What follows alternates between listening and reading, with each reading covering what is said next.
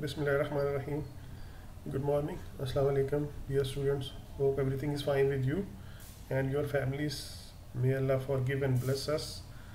Uh, in continuation with the retinal vascular diseases, we are going to discuss two more very important topics because these two uh, topics are uh, small so we are going to discuss going to discuss, discuss this today in the same session. The first one is uh, uh, Eales disease. This is uh, not very uncommon in our part of the world. Uh, it is not very common in western countries but this is not very uncommon in our countries. This is actually an is an idiopathic occlusive periphlebitis periphlebitis means inflammation of the veins. Inflammation in or around the veins. And this is an important cause of visual morbidity in young males. This is a disease of young males. You, this is you, there is one difference between this one and uh, diabetic retinopathy. Diabetic retinopathy can be in young patients but diabetic retinopathy the most of the changes comes in the posterior pole. But this one is a disease of the periphery. This is the main differentiating features. Second one the diabetic retinopathy is usually they present with the exudates hard exudates cotton wool spot soft exudates. But this disease either presents with the signs of inflammation or they present with the sudden vitreous hemorrhage you know that also can present with the vitreous hemorrhage uh, but they have got features of retinal exudations. Here, the patients have got mainly uh, uh, new vessels, and they can present with sudden vitreous hemorrhage. This is actually characterized by uh, Eales disease uh, is characterized by three overlapping stages. Number one is inflammatory. As I told you earlier, you see peri periphlebitis there is sheathing along the veins this is a little bit more advanced stage here if you can see there is some some sheathing around the veins so this is inflammatory stage and then this leads to the occlusion occlusive stage and the third one is the new vascular stage. So the first one is inflammatory second one is occlusive stage progressing progressing to the occlusive stage and third one is the new vascular stage. Of course this is a sign of ischemia which comes with the occlusion. Whenever there is uh, retinal vascular occlusion that leads to the ischemia and uh, ischemia then leads to the production of VEGF increased production of VEGF leading to the retinal neovascularization. Why this is very important in our part of the world and it is not common in the western world is because of this. This tubercular protein hypersensitivity uh, may be an important in the etiology may be an important factor in the etiology of the Eales disease this tubercular proteins because tuberculosis is uh, quite uh, common our part of the word so this has been implicated as as a causative factor that causes Eales disease what is the presenting complaints? The usually a young patients and uh, comes to you in the OPD or in the ER with uh, floaters and sudden visual loss or sudden visual reduction. This is because of the vitreous hemorrhage. this is because of the vitreous hemorrhage. On examination, you see a mild anterior uveitis.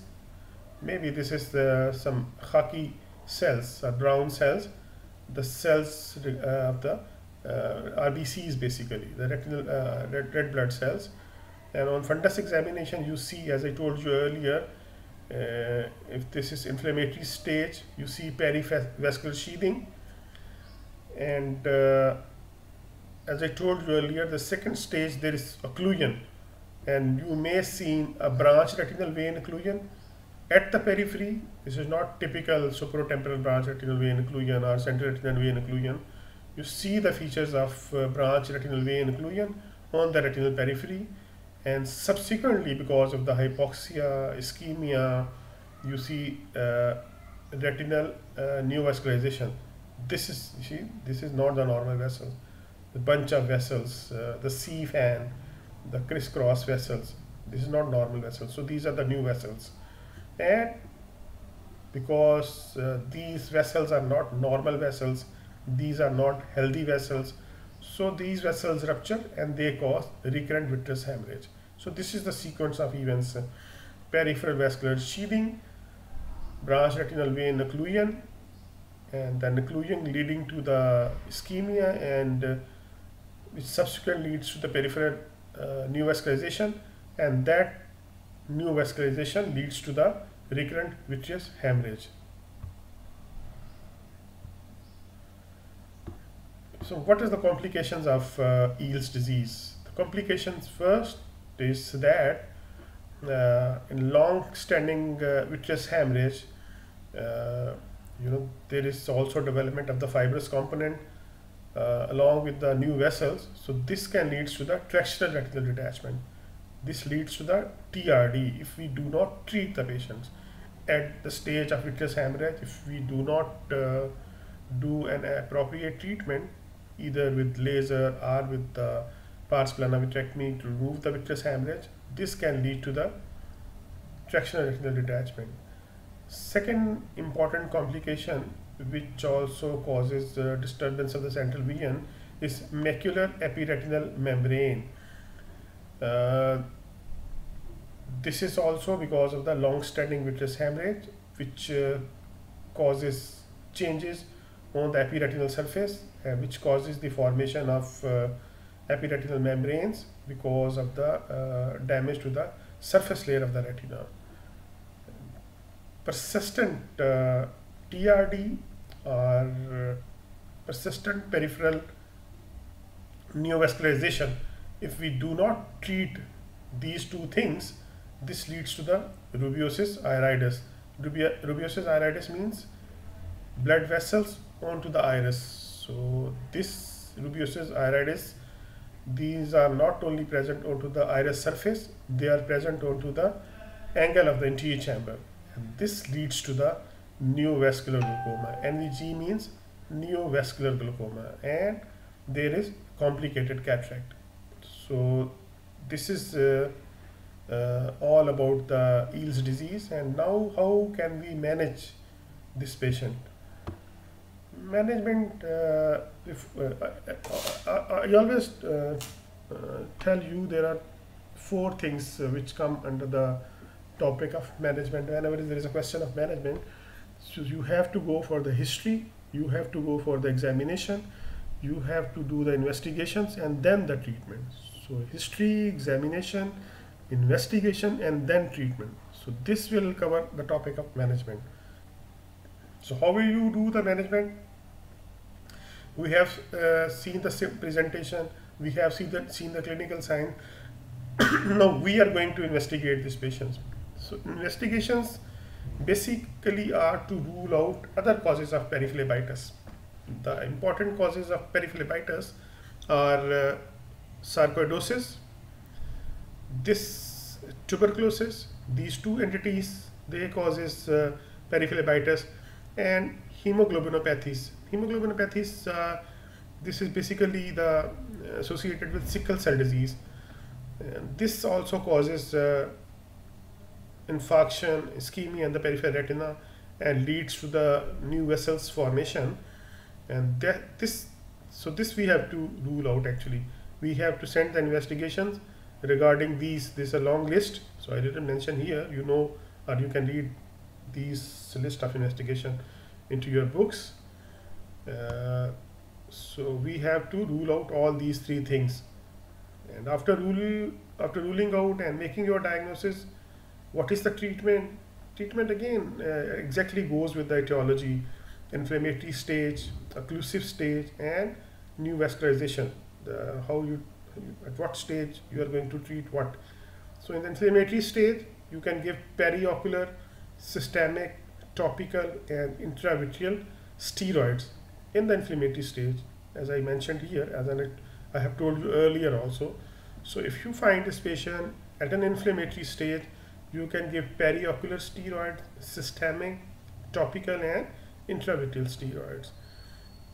As I told you, tuberculous, tuberculous protein is uh, basically, you know, it, uh, it is suspected that it is because the hypersensitivity reaction to the tubercular protein. So anti-tubercular treatment, ATT, and this should be actually with the in consultation with the internist or chest physician. Uh, you need to consult before starting ATT, uh, rather keep it for the internist. Uh, discuss the patient with the internist, and he is the one going to start this ATT. And if there is uh, uh, the stage of uh, new vascularization, you see the new vessels on the retinal periphery, you do scatter photo photocoagulation. So basically you are going to create now uh, infarction. So there is uh, no, no more release of the VEGF and there's no more uh, production of the VEGF and there's no more new vascularization. And again, for, for this uh, new vascular stage, you can give patients uh, intravitreal uh, VEGF inhibitor. VEGF means vascular endothelial growth factor inhibitors. So intravitreal injection we can give that will also cause uh, you know the shrinkage of the new vessels and if there is hemorrhage vitreous hemorrhage as I told you earlier because of the uh, rupture of the blood vessels so we can do the pars plana vitrectomy in these patients so this is the treatment for Eales disease uh, our uh, next topic is uh, and this is not very uncommon you see quite frequently uh, in the OPD this kind of patients, the patients of the Eales disease. This next is the Coats disease. This is again uh, you know, so uh, retinal vascular pathology, and this is now in the young boys. This usually comes in the first decade. The Eales in the young adults in 20s and 30s, and this one in first decade of life. This is associated with more with the exudation not with the hemorrhage. The Coats disease is basically an idiopathic retinal telangiectasia.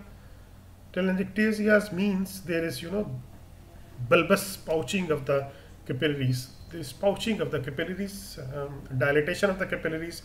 There is in a in a specific area, a bunch of capillaries. There is, uh, you know, become bulbous, and uh, uh, you can say there is aneurysmal dilatation of the capillaries that leads to the leakage. So idiopathic retinal telangiectasia, there's intra and subretinal exudation. This is exudation. As I told you, there is uh, aneurysmal, aneurysmal dilatation of the retinal capillaries that leads to the intraretinal and subretinal exudates, leakage of the intravascular contents into the subretinal space or into the retina and this if it is in the subretinal space will lead to the exudative retinal detachment. Presentation as I told you earlier is in the first decade of life with the unilateral visual loss and because this this occurs in the younger age groups so there are more chances of uh, strabismus any eye which doesn't see it diverges. So the patients usually comes with the divergent eye divergent uh, squint or exotropia. They don't have vision and eye is divergent. And this leads to the leukocoria the cat eye reflex or the white pupil reflex. Here that we can see see this is the normal normal ocular reflex. And here you see the white reflex. And you see this uh, Hirschberg test this is central. And here this white dot is coming at the pupillary margins. So this this is having this patient is a young uh, boy. First this is more common in males. 70% of the patients are males. So a young boy uh, uh, less than 10 year of age and he has got white pupillary reflex and eyes divergent. As we can see here, this Hirschberg test, this reflex is coming onto the nasal edge of the pupil. So this is the presentation. And this is all, most of the time this is bilateral. Most of the time this is, uh, this is unilateral, I'm sorry. This is unilateral. On fundus examination, there is uh. You can see the, you know, the aneurysmal dilatation of the capillaries at the macula and at the retinal periphery also. And there is intraretinal and subretinal exudation. This is the late stage in which there is tractional retinal detachment, there is epiretinal fibrosis and everything. This is the most complicated stage. This is the typical uh, uh, stage uh, in Coats disease which leads to the white uh, reflex. And this is sometimes misleading for the patients or the parents of the child. So they think this white reflex is basically because of the cataract. So they, delay the management. And if they delay the management this is actually sight threatening condition. And the patient usually lose their vision very quickly in these patients. I rarely saw any patients having good visual acuity with Coats disease. Usually they are diagnosed late and the patient you know goes into this stage, phthisis bulbi. So these are the complications uh, uh, of Coats disease. These patients uh, they develop exudative exudation, exudative retinal detachment, and long-standing detachment sometimes they have got the epiretinal fibrosis and uh, uh, fibrotic membranes into the vitreous cavity which leads to the TRD also so persistent new uh, persistent uh, detachment leads to the rubeosis iridis which is then causes glaucoma and uh, neovascular glaucoma and the patient have got uh, uveitis and cataract and if you do not manage all these three things appropriately at an appropriate time, this is going to lead to the phthisis bulbi. Phthisis bulbi mean a non-seeing, shrunken eye with altered structure. Everything is bad with the patient then. So how will you investigate and treat the patients? Two investigations we have to do we have to go for the fundus examination and we have to do the OCT. These are the two investigations. We want to see the leakage and we have to see the macula, status of the macula with OCT. And here we can see the retinal periphery also. Everything you can, you can say the vascular status, at what stage is the retina is. You have to see the uh, aneurysmal dilatations, the telangiectasia with FFA, and the leaking leak, leaking stage, uh, status and everything we see with FFA and then specifically to look for the uh, macula you have to do the OCT treatment is observation observation is not that you are going to you know leave the patient. Observation is the stage uh, if the patient comes late to you. I mean uh, now this is the non-seeing eye divergent eye and uh, you cannot do anything uh, actively.